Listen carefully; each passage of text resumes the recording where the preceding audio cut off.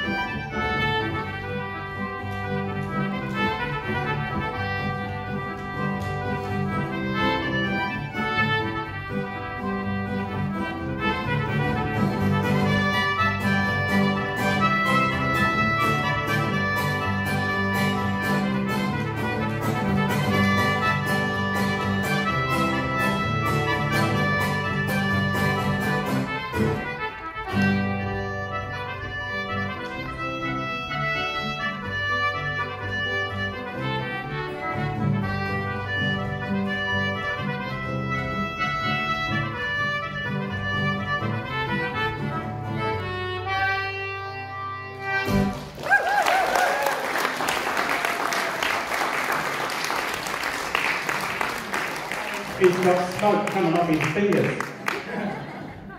And now I'm about to get all cut up because I'm going to play the song. Oh, you may laugh. This is the only instrument in existence that has 158 sharps. We counted them earlier. And one flat.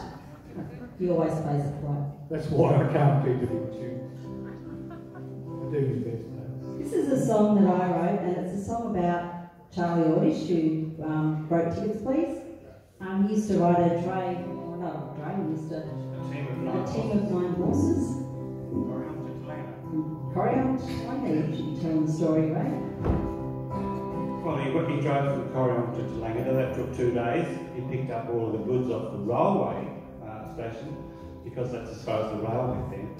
And then two days to get back. So it was five days altogether. On the way, he would play all the instruments that he had. He had a concertina, he had an accordion, he had a mouth organ, he had a fiddle, he had a banjo, he had a mandolin, uh, and a banjo mandolin, And a whistle. a tin whistle. And of course, you don't have to steer horses, they sort of know where they're going, you just have to stop them and start them. So he played all these instruments and he played them quite well. And he played the fiddle, and the fiddle eventually made its way to us, but it was in pieces. We had it fixed. And my son plays it. today. today. But we feel like his music plays on in all the boys in the family, including these two. My grandfather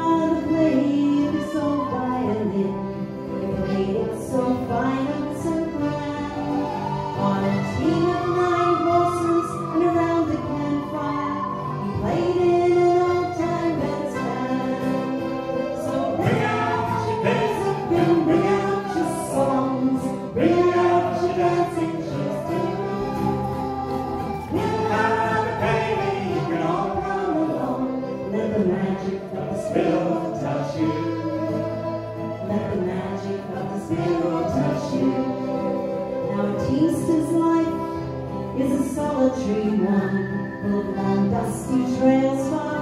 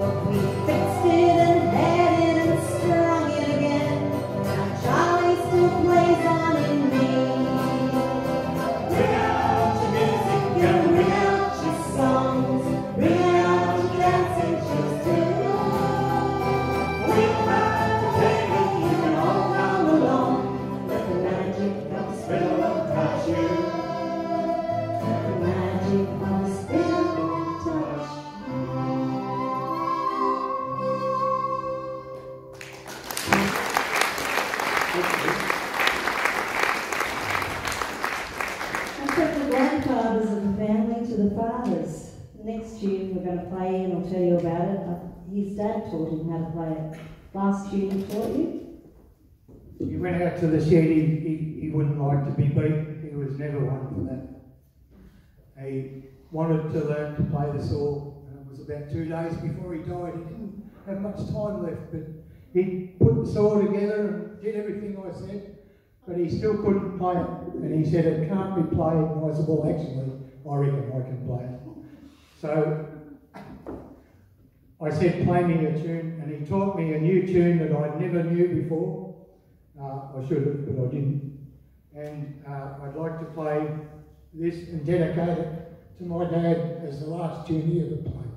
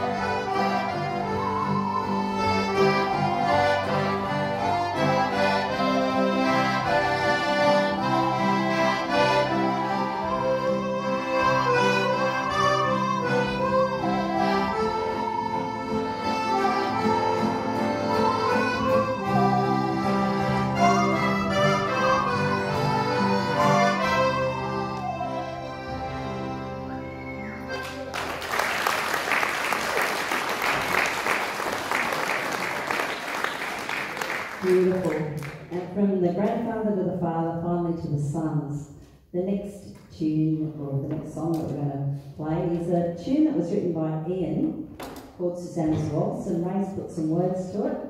He calls Dancing on Air, so we've got a little lovely love thing going on here. So I reckon you need to give them another big round of applause before they do it, because they're a bit serious.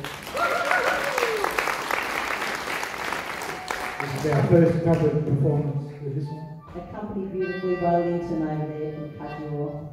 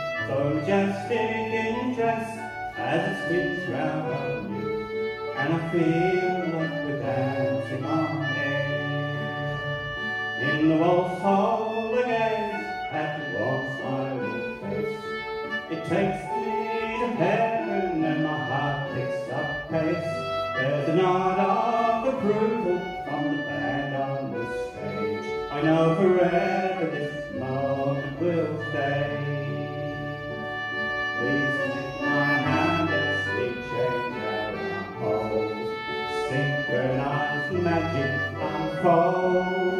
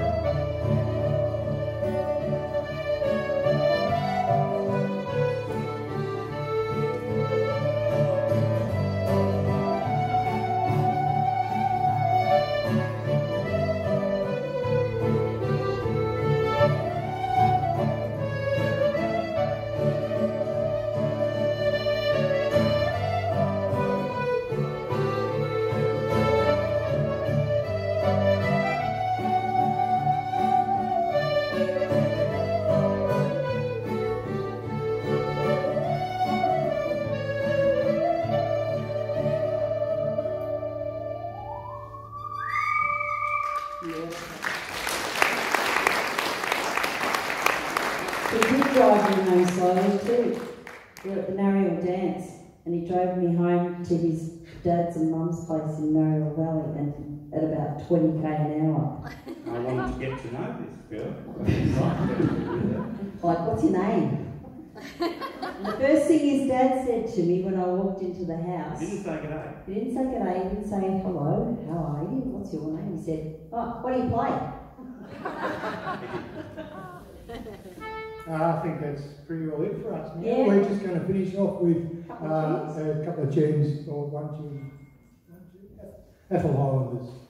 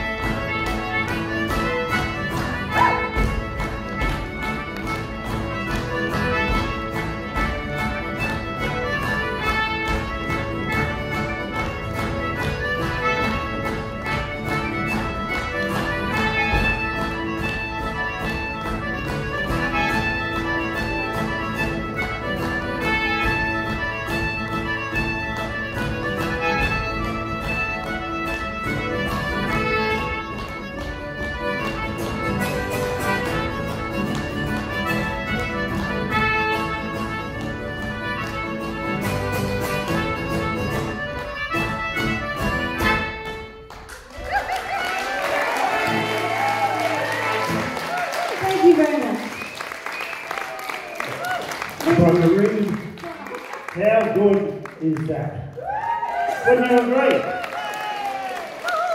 If they want more, all they need to do is go to the Nariel Festival. There will be a festival next year. There will be a festival, you heard it straight from here, there will be a festival next year, so that'll be something really fantastic. Don't, yeah, look, let's do it. We've got a lot to make up for. Yeah, we certainly have. Well, folks, I don't know about you, but when I was listening to that beautiful music and hearing the stories of old, aren't we privileged to be here? And aren't we privileged that so many people before us have put the effort in and, given us the lifestyle and the place that we now call home? So how about we put our hands together for them too? We know where we come from and we appreciate it very much.